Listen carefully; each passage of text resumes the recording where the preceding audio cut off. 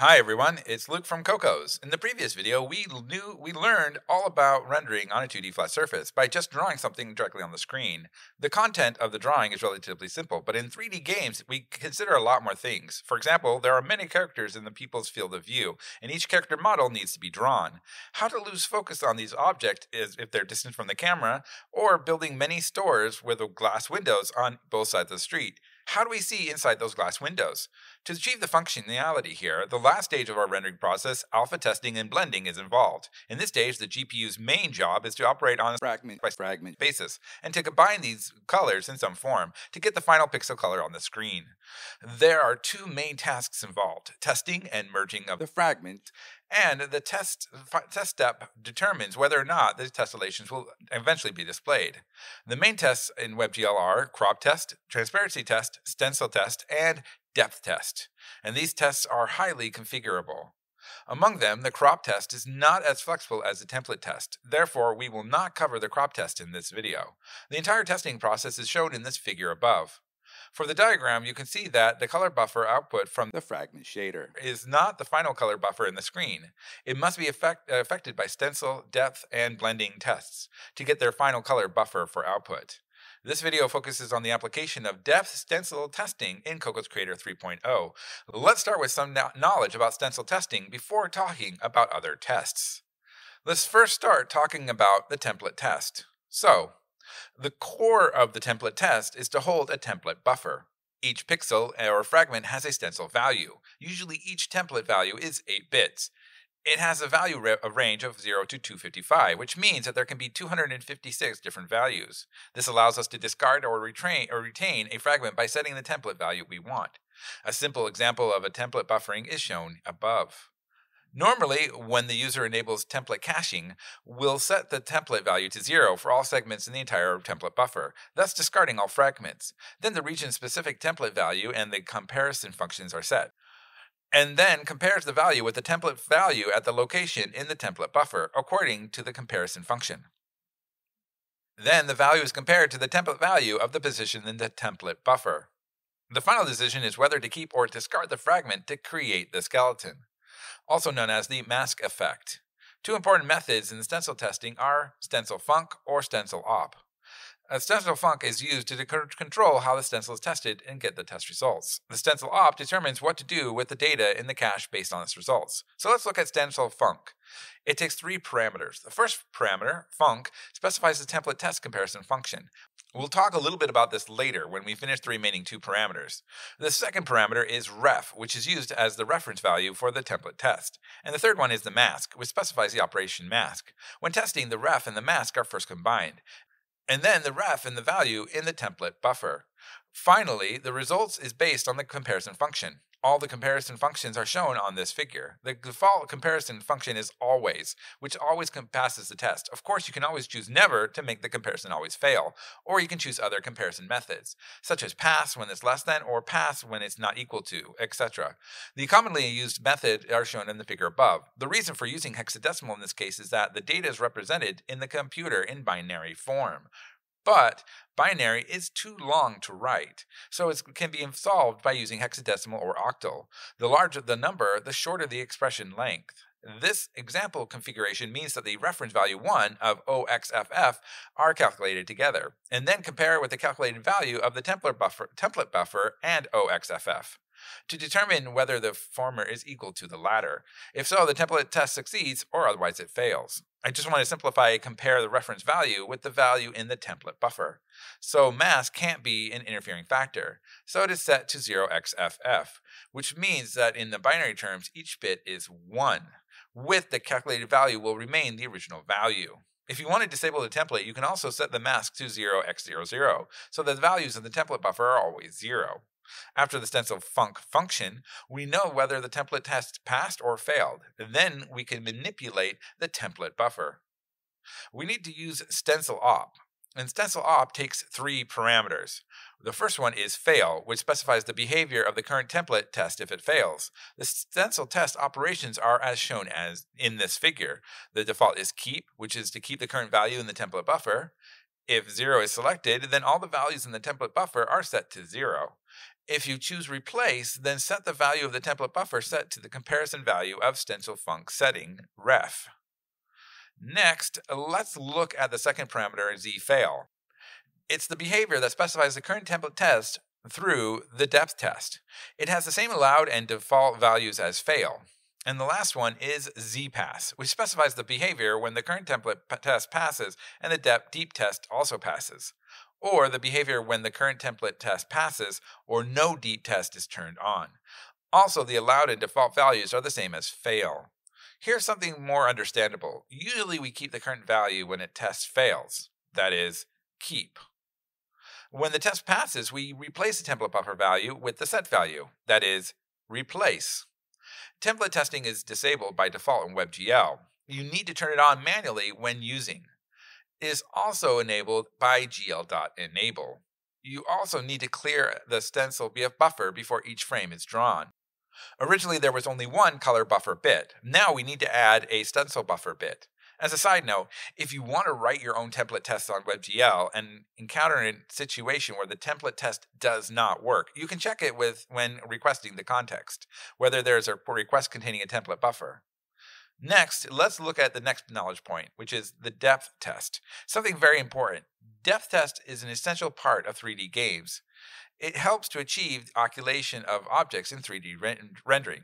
Without the depth test, it may result in misrepresentation or flickering on the front and back objects. The core of the depth test is similar to the template test. It also holds a depth buffer, and the depth buffer, like the color buffer, stores the depth value of each fragment, stored as a 16, 24, or 32-bit float.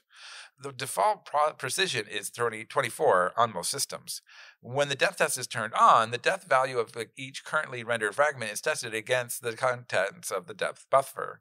If the test passes the depth buffer, then the new depth value is updated. If the test fails, the fragment is discarded.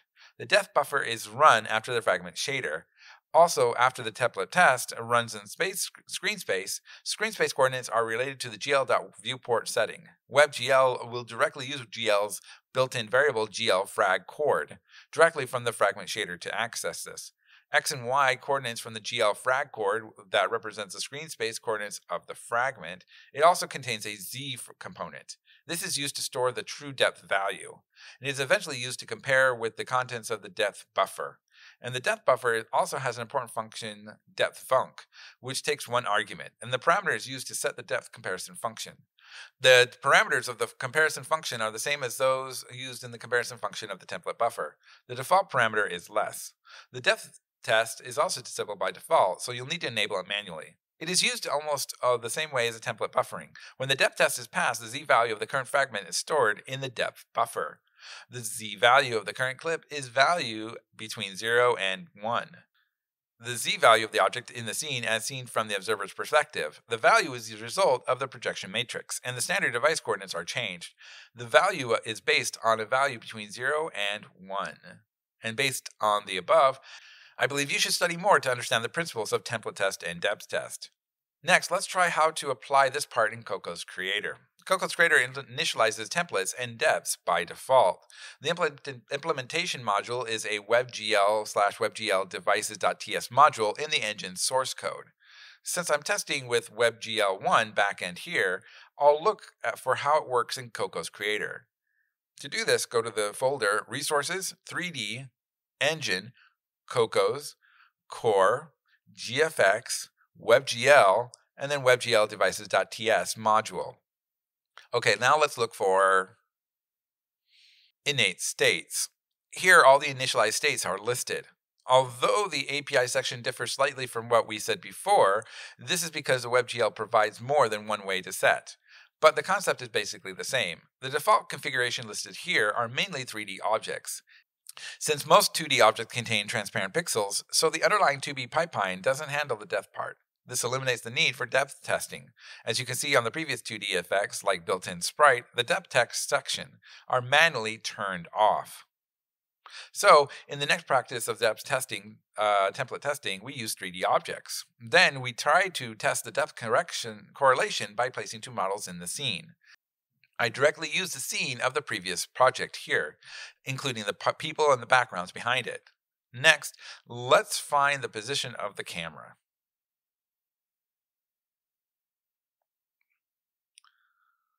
From the camera's illumination position and the cru- uh, camera's preview screen in the bottom right corner of the scene editor, the depth value of the character module is smaller than the background model, so it displays in front of the background model. Next, we can try to make the same configuration changes in the depth test. For example, turn off depth test. This time, let's see if the model is still displayed like this. As we know in the previous section, turning off the depth test uh, requires a change in the depth stencil state configuration. For example, let's look at the sprite effect.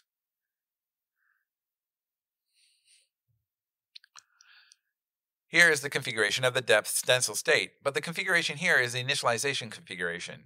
Even if you modify it, it won't work on the material you've created. The way many young developers would like to do this is to modify it through code. This is one of the ways. The other way is definitely to modify it through the editor. So the editor must have provided an entry point for the modifications in the um, material panel. Below the material panel, there is a pipeline property. All the depths and template test configurations are under the property. There is a corresponding configuration entry. Then we find the depth stencil state. You can see it's configured related to the depth test and the stencil test. Then we can try to find the material of the model and try to turn off the depth test.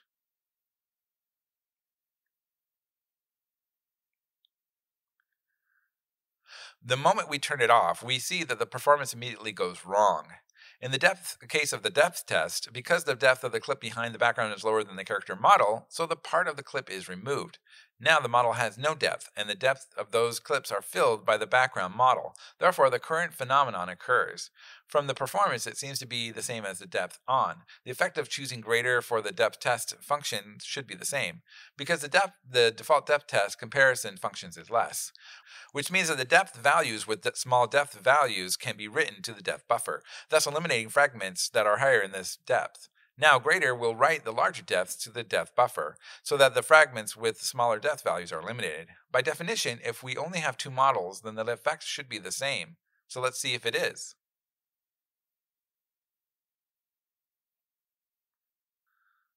At this point, you'll find that no matter how you change the angle, you cannot see the character model. Normally, the background model is still less because of the depth test function, so it'll overwrite the depth buffer content. But now, all of them can be covered. Then the places not covered should be written to the depth value of the character and not completely invisible. So, why is this? Well, this is mainly because we do the operation of clearing the depth buffer every frame. The depth val- the default value of the clear depth buffer is 1.0, which is the maximum depth value. So the character model can't be farther away than the maximum value. So that explains why we can't see it now. So when the character did not have the depth test enabled before, it will be removed because the depth test failed. So there is a part that can be seen. Though such a small test, we can update and verify the knowledge we have learned. I think it's quite interesting. After practicing the depth, deep uh, the de- depth test, let's practice the next template test. I'm going to revert all changes here. The template test requires two basic operations. One is to clear out all the fragments, one is to set the template values for a specific area, then the object needs to be drawn. Just choose to draw on a specific template value. I'm going to implement an effect that only shows the upper half of the human model. Let's prepare two faces. First, create a faceplate called clear. This is mainly responsible for clearing the template values.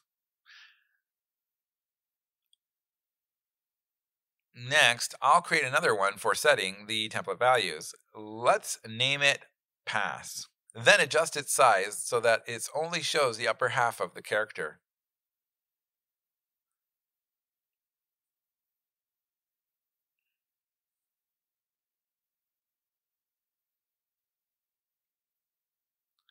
And then adjust the faceplates for clearing so that it completely covers the character. Then create two materials called clear and pass. These two materials use the same effect as the clear pass effect. Both are built-in standards. Next, associate them to the corresponding models. Next, let's work on clear. Set the stencil buffer to zero for the area it draws on the screen. Before we set it, let's look at the meaning of these parameters. So let's look at the first three parameters. The first three are related to the depth test. The first one is whether to turn on the depth test or not. The second one is whether to allow depth test writing when the depth test is passed, and this is also relatively easy to understand. And the third is the depth test comparison function, which we has been mentioned before. Later on, the section of the template testing is divided into front and back. The front side has a stencil star front in its name, and the back has a stencil star back in its name.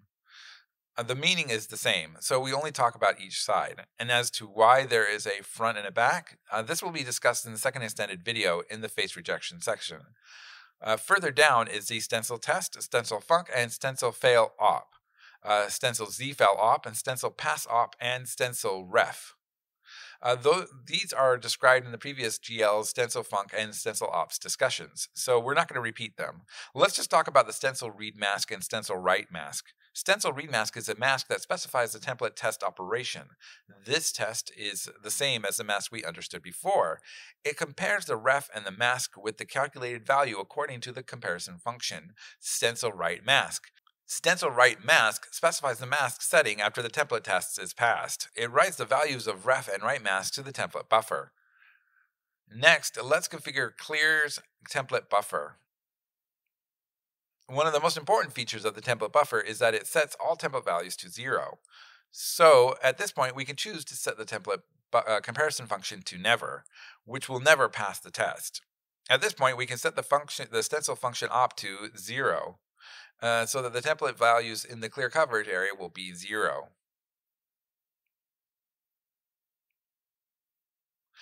Next, set the template test to configuration for pass. The purpose of pass is dissimilar to clear, except that the template values that need to be set is defined by us. I want to define it as 1 here. The template comparison function is still set to never, so this it won't pass the test. At this point, we set stencil fail op to replace. Stencil ref is set to 1. This way, the stencil values in the area covered by the pass will all be 1. Finally, we set the stencil test value for the character. The character stencil test requires that only segment with a stencil value of 1 are passed, but does not update the values in the template cache, so we turn on the template test. Set the comparison values to equal. Uh, this keeps the existing configuration intact regardless of whether it succeeds or not. Ref remains at 1. At this point, we can clearly see that only the upper half of the character is displayed. The area shown is exactly the area blocked by the pass. This is how the template is tested. So let's try adding another pass sheet so that it only shows the lower half of the person's body. Set its ref value to 2 and see the effect.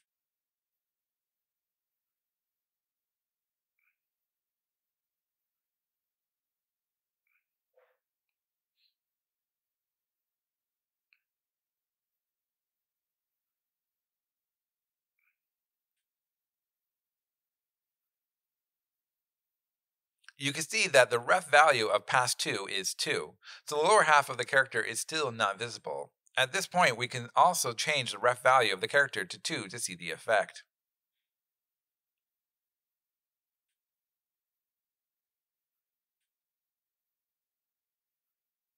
At this point, we can see that different template values can be used to display different effects. The above content is above, about the template test and the depth test. Interested developers can add more combinations to achieve special effects. In the next video, we'll continue to explain the mix testing and culling. So, we'll see you in the next video.